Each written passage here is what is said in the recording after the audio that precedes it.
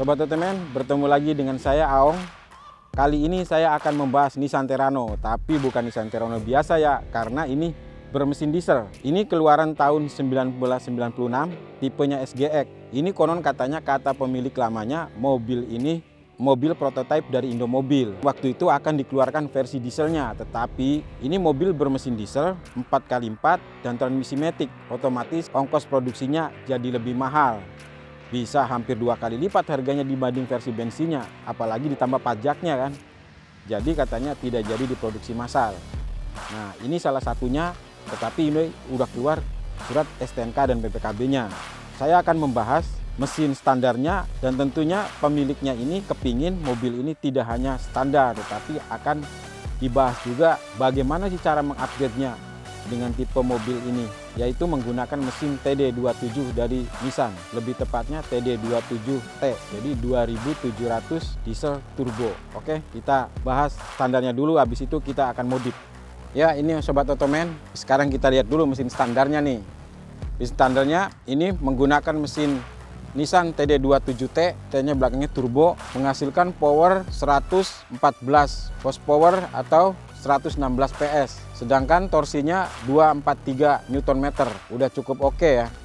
Dengan mesin yang menggunakan mesin keluaran lama ini tahun 96 tahun 97 Mesinnya masih menggunakan mesin konvensional, artinya masih menggunakan injection pump biasa atau istilah orang sininya bos pom. Jadi belum belum elektrik. Pekerjanya cuma buka tutup atau mematikan mesinnya hanya menggunakan satu strum dari kunci kontak. Nah ini kita lihat, ini udah menggunakan turbo, ada tulisan turbonya, belum ada intercooler sehingga langsung dimasukkan ke dalam intake. Mesinnya ini, oh ya mesinnya ini mesin segaris, 4 silinder segaris 2700 cc digenapkan makanya TD27 ya.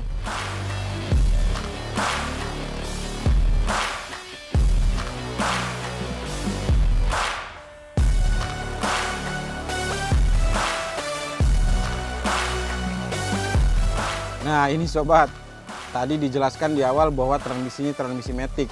Tapi karena sudah lama dipakai, transmisi maticnya udah jebol. Nah akhirnya ini dibalikan lagi standar pakai transmisinya yang 4x4 tapi manual. Ini menggunakan transmisi asli Terrano, Terrano bensin. Walaupun ini mesinnya udah diesel. Ini karena transmisinya asli Terrano bensin yang yang versi lama ya. Akhirnya pertemuan antara gearbox dengan mesinnya itu menggunakan adaptor jadi supaya bisa klop. Secara rasio sih dirasa oleh pemiliknya katanya tidak berpengaruh, tidak terlalu berat atau tidak terlalu enteng. Artinya bisa dipakai off-road yang ringan tetapi bisa dipakai juga di jalan raya. Top speednya bisa 120, 140 sih bisa. Dicoba kata Mas Dwi.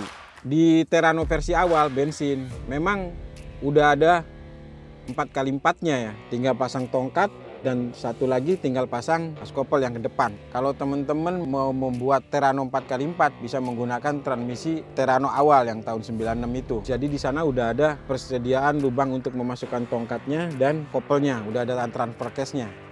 Ini selain dipakai di jalan raya dipakai juga oleh Mas Dewinya itu untuk off-road ringan, kadang-kadang dipakai camper van. Nah, selain untuk tampilan gagah, oleh Mas Dewinya ini dibikin tinggi ya supaya secara tampilan juga kelihatan keren, kelihatan gagah gitu. Kalau dipakai off-road ringan bisa.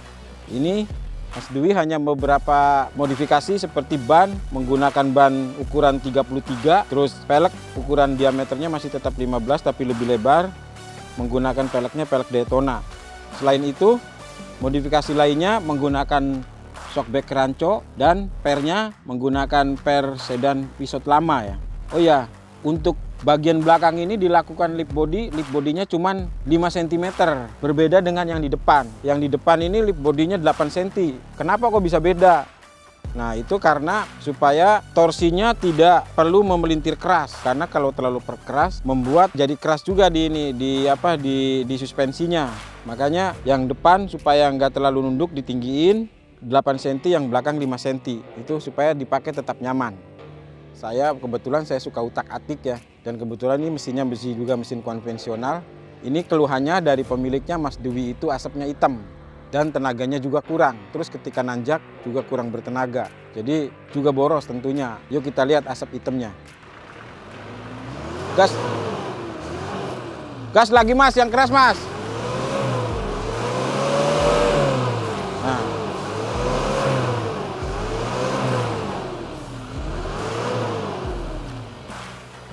Ya, itu kelihatan asapnya tebel.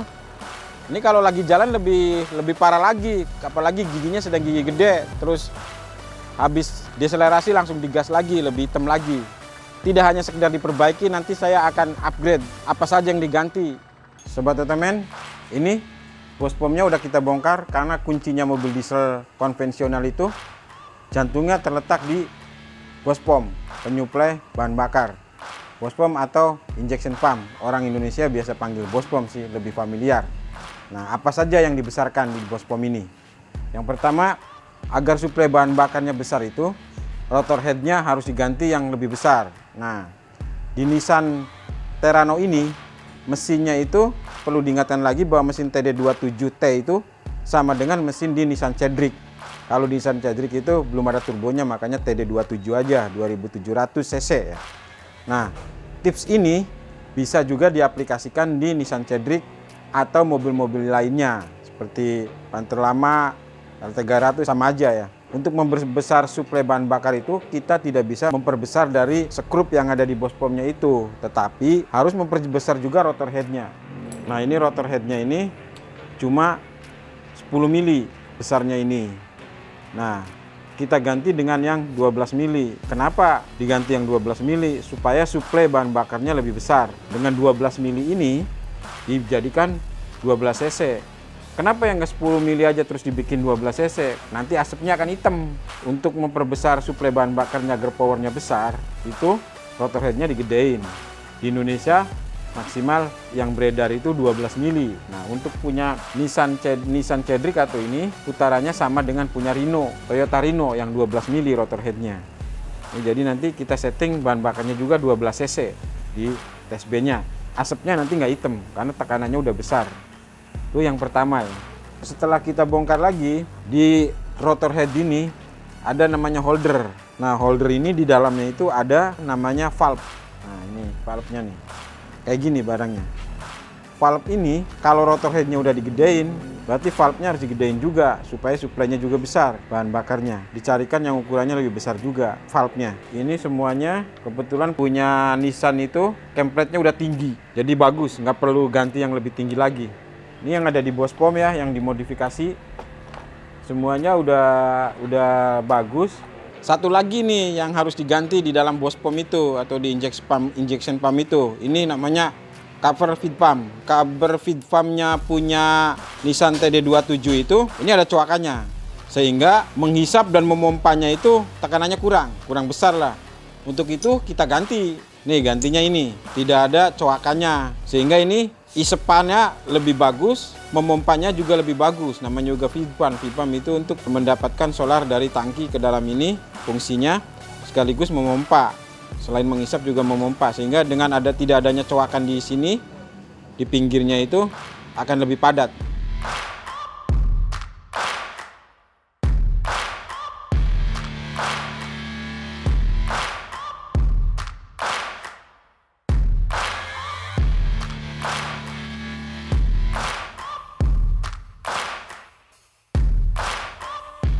Setelah dilakukan modifikasi di mesin itu, asapnya udah nggak hitam, tenaganya juga udah lebih responsif, bahan bakarnya tentunya lebih efisien.